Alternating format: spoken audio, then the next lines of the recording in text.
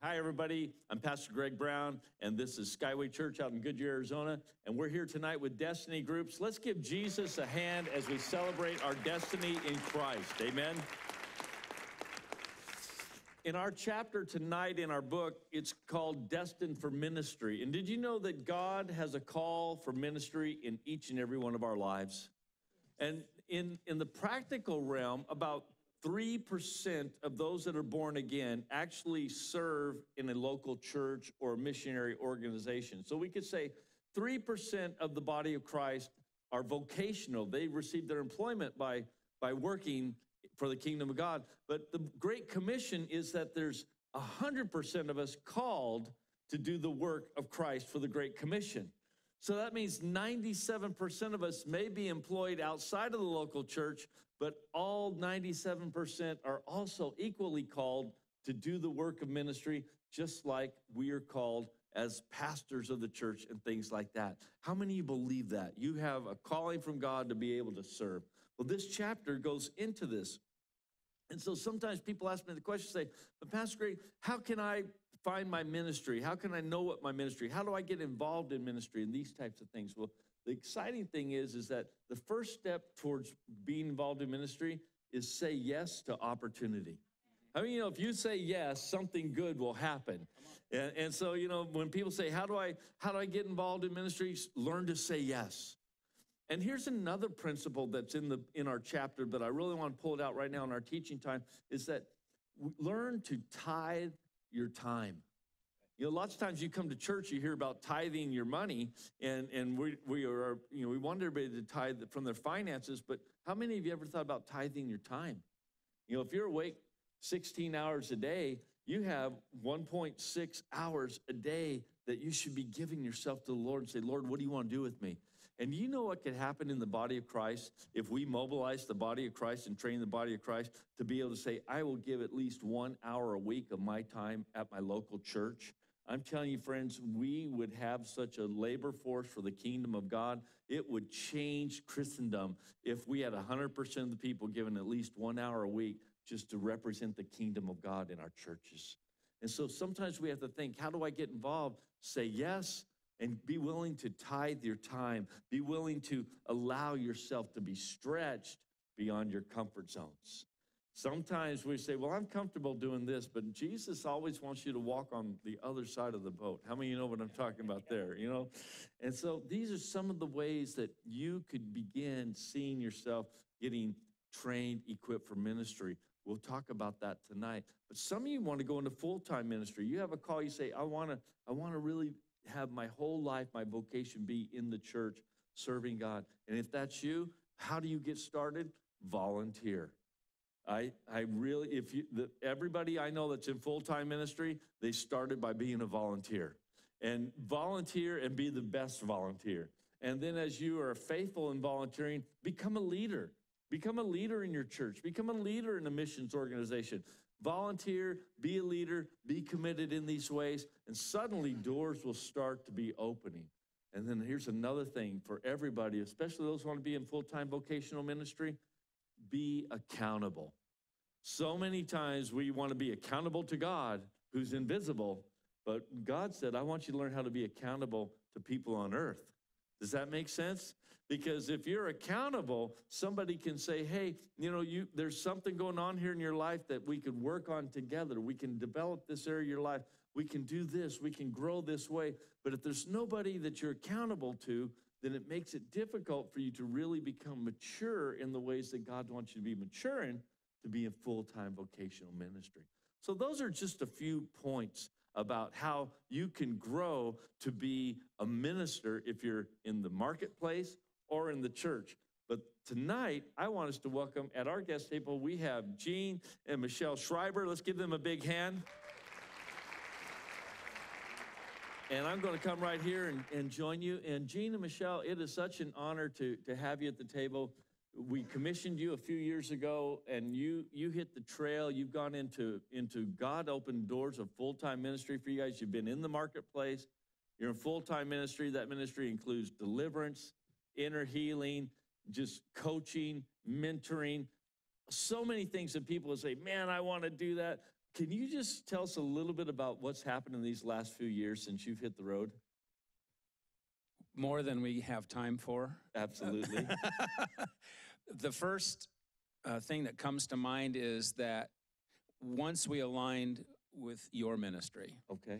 and Ascend after that, and we started hearing the principles of God that, and we've both been church goers and actually ordained ministers for a long, long time, but principles that we did not have, we had not apprehended. First fruits. Okay. That, see, that's awesome. Huge. Talk about how that impacted you being able to go into ministry. Well, we were encouraged by you through that teaching to give offering above and beyond the tithe. Yes. And God started re- rewarding us Okay. because of, as a result of that. Amen. So, but we had to do some things to see that reward really start coming in fullness, Yeah. but it was the start. yes. You said, how did it start? That's how it started. started with first fruits. First fruits. You know, Chuck Pierce gives that same testimony. You know, everybody thinks about, oh, Chuck Pierce. And, and when you listen to Chuck, he will always bring it back to first fruits. That's interesting, huh? That is interesting. Amen. That's amazing. So some of the first things we had to do, we had to get some finances right. We were just out of alignment here. Okay. You want to tell your little story? Yeah. Is it a little too early? Do you want to, we were visiting, let me, let me tell you guys, we, they came into town and said, Pastor, we just want to visit with you and tell you all, all the things that God's doing. And you guys make such a difference in so many people's lives. It's huge. Thank you. And uh, Michelle, you were telling me about, about some things. You guys had to get something fixed before the min- doors of ministry really opened. That's correct. That's, Yeah. That's right. So we had been through a, um, a long season of a financial deficit. And it seemed like it was getting worse and not better. And I didn't guard my heart and I became bitter. Um, but I went through the motion of, look, I'm happy, you know, and uh, not letting people know how I was feeling and not um, taking it before God. And I, er, I would, um, part of what I did in the day was walk my dog and I'd go down the street and check the mailbox um, and then bring the mail back. And we were getting so many bills in the mail. Um, there was, it was like demonic how many bills were coming in because some of them I didn't even know the money and it was just um, uh, awful. Um, I felt like we were spiraling in a negative way um, financially. And I got to a point where I stopped taking the mail out of the mailbox. And I, I was saying really bad things uh, when I would go to the mailbox. Like, I hate coming here. All right. I hate this. I, I hate the mailman. Or just, you know, really Poor just stupid mailman. things. And I'd slam the, slam it shut and it back up and I'd slam it again and had this like fight with the, the box, which was really stupid. Um, and I knew better, just not to speak things out of my mouth like that. I, I, I totally knew better, but I just did it. I, I was so angry, at one point I almost uh, snapped the key off in the box so that we couldn't go to the mailbox anymore because I, I just couldn't take it anymore. So I just, uh, I left the mail in the box and I started lying uh, to my husband when he asked if we, you know, where's the mail? Aren't we getting any mail? And I said, no. I, I don't, I don't know what's going, on. know. No Well, didn't you check it? Yes. So, during that, th- this was going on for a little while. And anyhow, during that season, I had went to a conference, a women's conference here in, in Arizona. And um, I realized I had lost my joy. And during that conference, and the Lord just restored it and through, through hearing the word of God. And I repented for my heart attitude.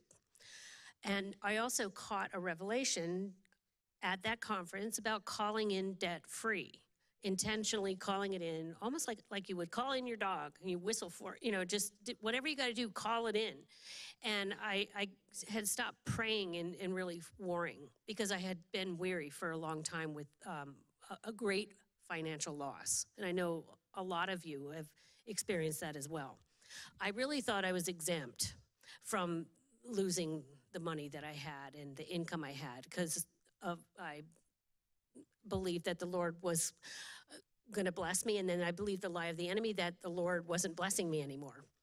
Um, we just went through the fire, but I had to check my attitude, and I repented.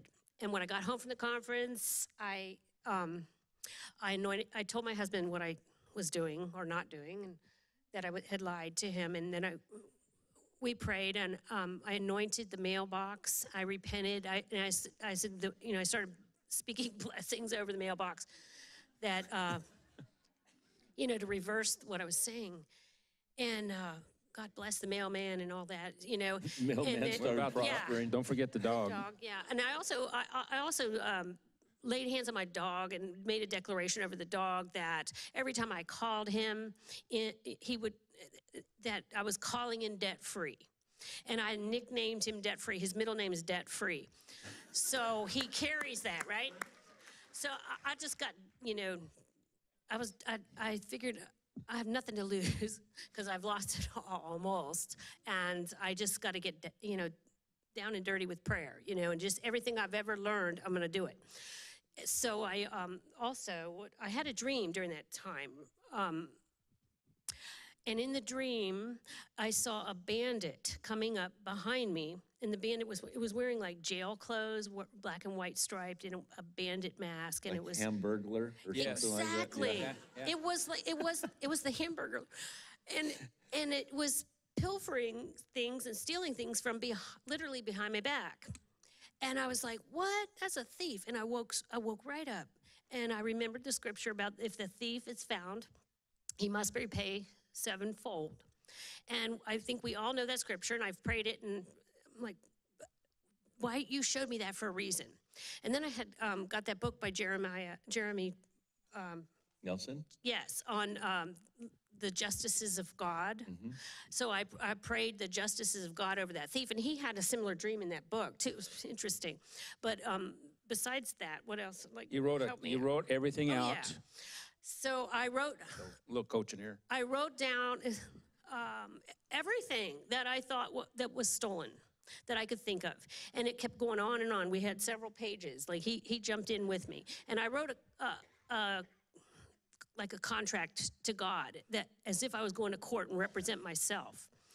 And um, I, dec- you know, I want all this back.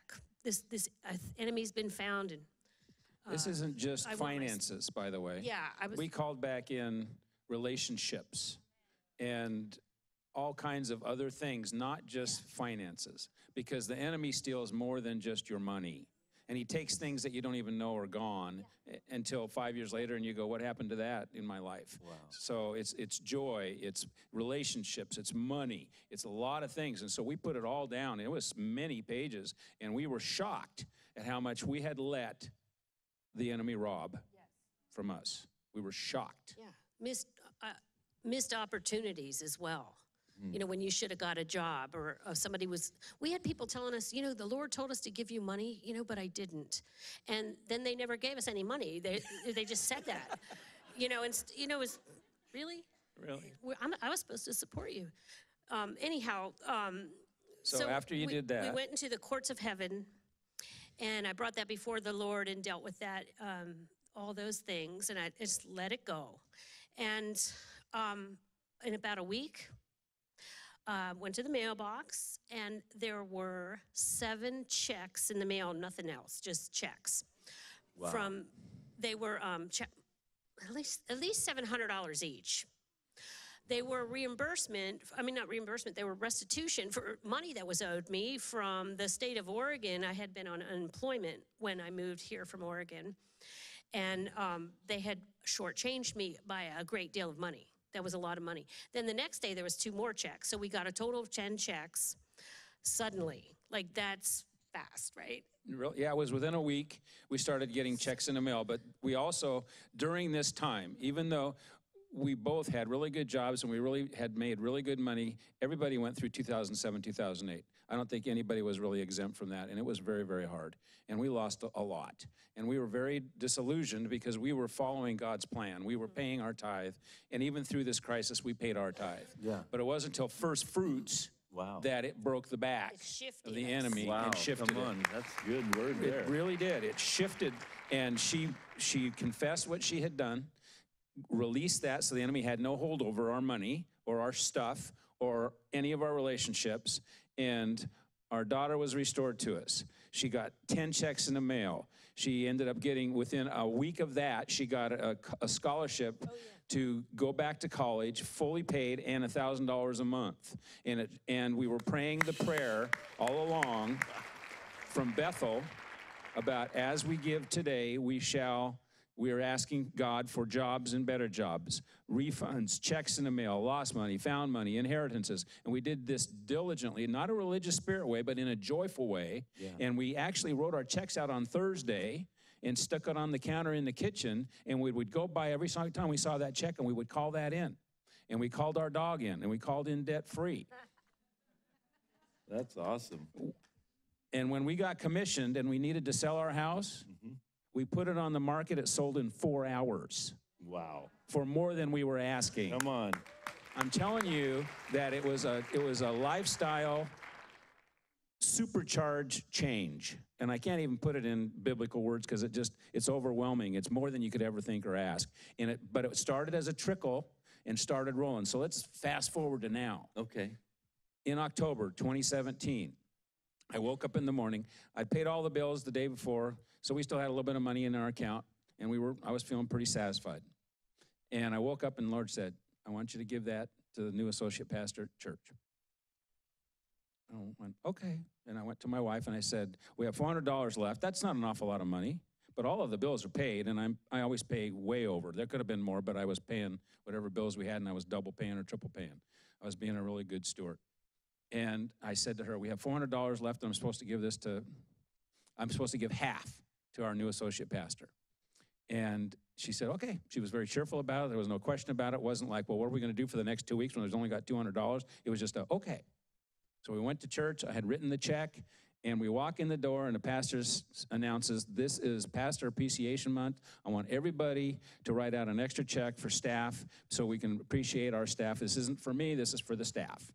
So I knew that we were right in alignment. That alignment is so important. Amen. Alignment with you, alignment with Ascend, alignment in our church. We were just really, really in alignment. I think that's so important to be aligned appropriately.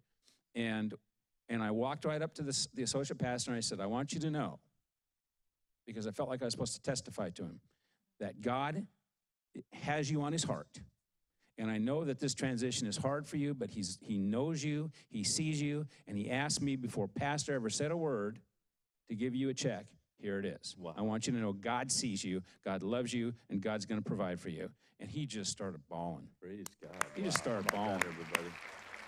The next day, less than 24 hours later, a check in the mail for $2,870. Now, we're not a name it and claim it kind of people. That's not who we are, but we are walking in faith that God will provide abundantly above all we could ever ask or think. Since that day, since that day, one year from the 1st of October to the 1st of October in 2018, we have received so many checks, I can't even tell you how many, and the total amount is $33,500 in checks above and beyond our income. Wow.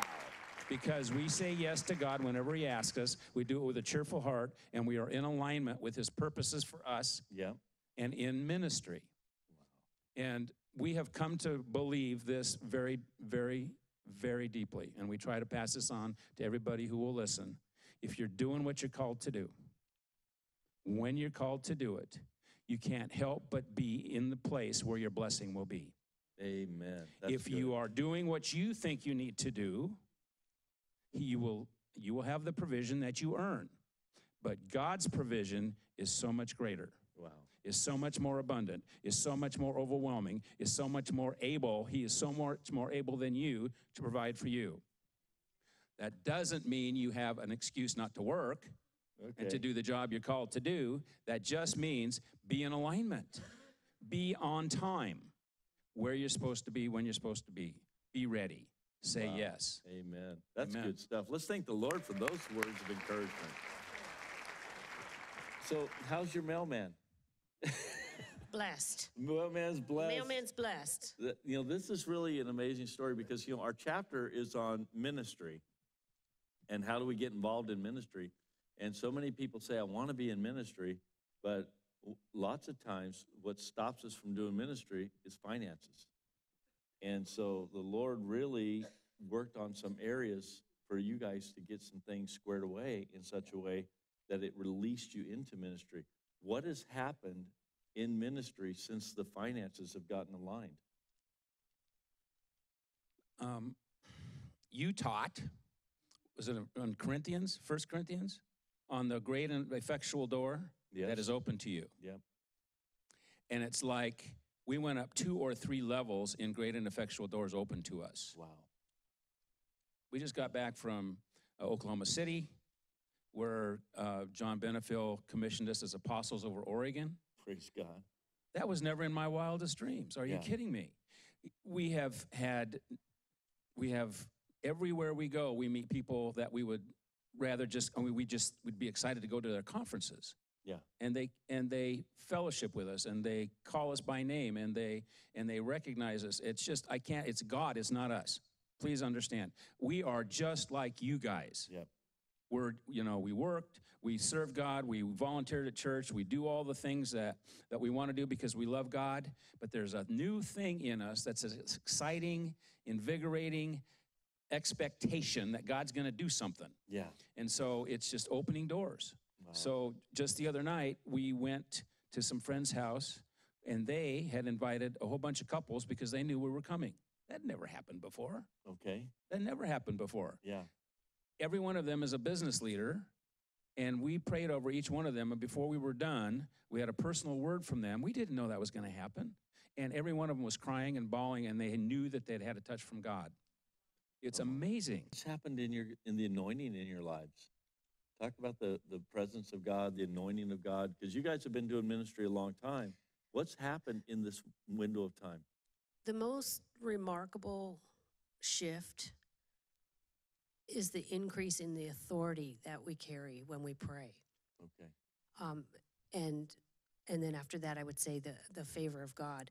But when I pray a thing, it I, am seeing it like occur, or we pray that before um, we go, you know, here or there to meet with people, or before somebody comes to our home, and what I pray happens.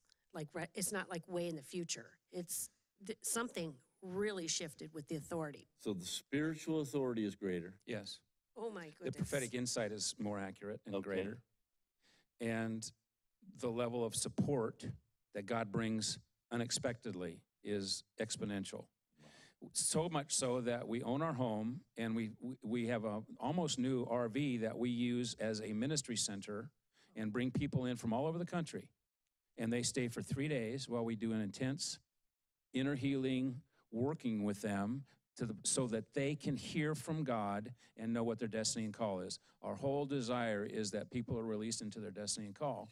This is phenomenal. I mean, what do you guys think hearing something like this? This is amazing. Because, Michelle, would you pray about that disappointment?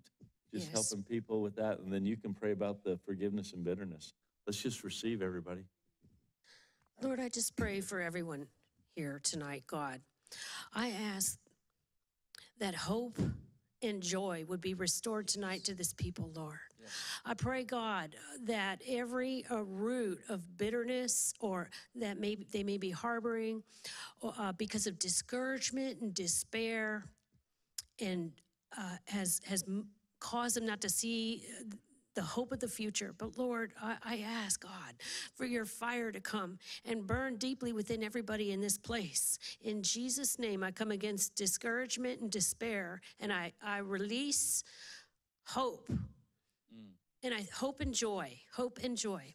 Hallelujah. And I pray that as people go forward in their lives, Lord, uh, this throughout this week, even tonight uh, on the way home, Lord, uh, that you will shift them into a place of joy and they will begin to rejoice and sing over uh, that uh, d- the despair. And I'm just sensing also uh, tiredness, just dragging themselves here to church and dragging themselves.